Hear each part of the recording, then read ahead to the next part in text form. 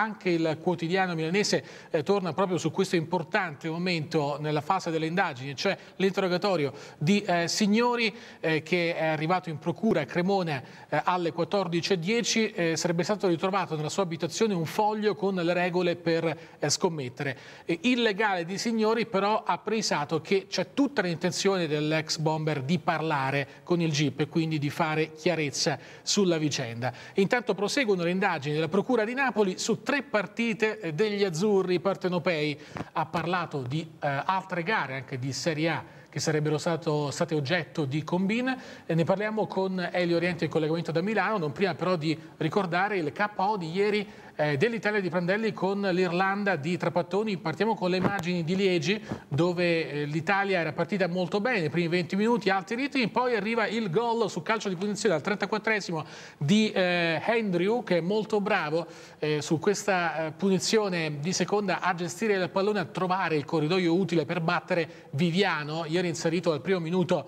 per difendere la porta azzurra da Prandelli, Prandelli che si era affidato a Montolivo a ridosso delle due punte eh, Pazzini, eh, Giuseppe Rossi. Ecco tutta la tensione emotiva di Trapattoni con a fianco un monumento del calcio italiano, Marco Tardelli, suo collaboratore proprio alla guida dell'Eire. Eh, gli irlandesi dunque trovano questo, questo gol dopo eh, una prima mezz'ora equilibrata, comunque una prima mezz'ora caratterizzata eh, dalla maggiore iniziativa eh, dell'Italia, questa è l'esultanza dei tifosi dell'Irlanda dopo il gol di Andrew e la vittoria dell'Irlanda è proprio una vittoria alla Trapattoni perché sono stati molto bravi a gestire il vantaggio, difendersi nel migliore dei modi per poi trovare il gol del raddoppio in contropiede.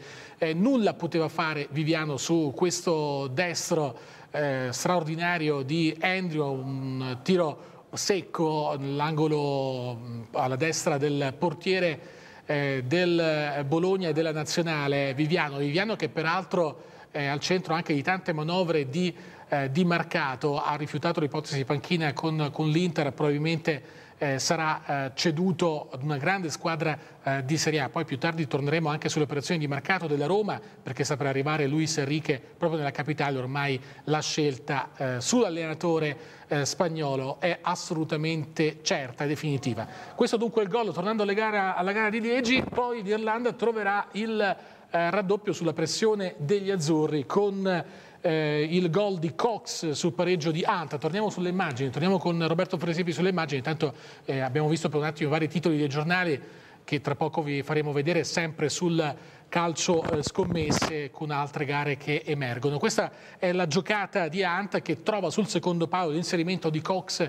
e nulla eh, da fare per eh, Viviano. 2-0 Irlanda KO per l'Italia. Passo indietro per eh, gli azzurri, anche se si trattava di un amichevole di fine eh, stagione. Tra poco andremo a vedere invece la tripletta di Ibrahimovic per quanto riguarda le qualificazioni a Euro eh, 2012, perché è arrivato eh, dunque eh, il successo della Svezia, ma soprattutto una grande prestazione dell'attaccante del Milan. Questa è la felicità contenuta di Trapattoni, che ha detto voglio sempre vincere, anche quando si tratta di gare eh, amichevoli, lo ha dimostrato ieri con una gara molto accorta sul piano tattico, cui lascia desiderare la difesa eh, dell'Italia sull'avanzata di Ant e non va a coprire sul secondo palo Chiellini e dunque il gol eh, di Cox. Eh, torniamo per un attimo in studio, andiamo con eh, la grafica riassuntiva delle partite di ieri, poi andremo anche sulle altre amichevoli eh, internazionali che si sono giocate perché ieri era in programma un altro gruppo di eh, partite di qualificazione a Euro 2012, leadership eh, incontrastata della Germania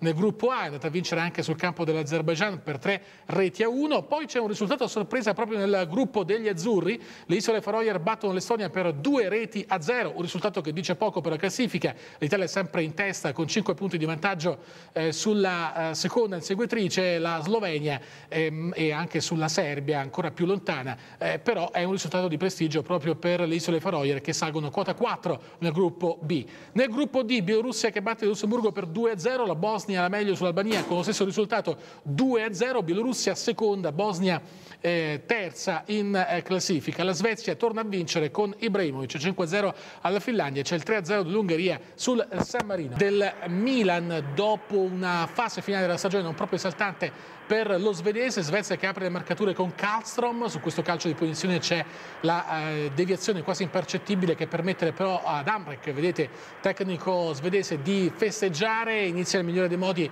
la gara per la Svezia in questo derby eh, contro la uh, Finlandia, eh, esulta anche Castrom, poi c'è l'ingresso di Zlatan Ibrahimovic non in perfette eh, condizioni, non era stato rischiato subito l'attaccante eh, del Milan che poi subito andrà in rete in tre eh, circostanze, peraltro in maniera mh, sempre diversa. Eh, c'è qui il controllo con il sinistro, la palla poi indirizzata con il destro. Ecco, questa esultanza di Ibra ci spiega anche la voglia no? di andare in rete, di ritrovare la tranquillità e come dire, anche di sentirsi importante con una nazionale con cui non ha mai avuto uno splendido rapporto, caro Elio, ecco il raddoppio di Zlatan Ibrahimovic, si nota proprio anche l'affiatamento con i compagni, la voglia di mandare in rete l'attaccante rossonero.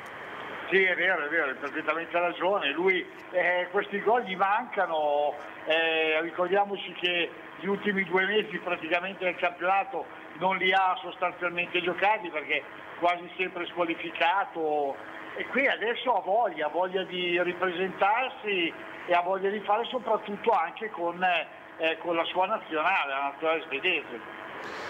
Zlatan Ibrahimovic che poi andrà vicino uh, alla terza rete su calcio di punizione segnando nel secondo tempo con un perfetto stacco uh, di testa. Proprio uh, probabilmente il terzo gol è quello dal punto di vista della realizzazione, del gesto tecnico probabilmente più bello da vedere. Qui calcia una delle punizioni che fanno parte del suo repertorio, potenza e precisione. Non è fortunato Ibrahimovic, sarà invece più fortunato nel secondo tempo eh, lui il protagonista assoluto di questa eh, sfida che rilancia eh, nettamente eh, la Svezia per le qualificazioni Euro 2012. Qui l'arbitro riesce a non vedere un fallo proprio sullo svedese eh, con l'ira anche del CT eh, giallo-blu, qui il fallo è netto, il diretto avversario su Zlatan Ibrahimovic, qui vedete la plateale protesta ma assolutamente comprensibile di Amrek per questo rigore non dato ma più tardi sempre sul,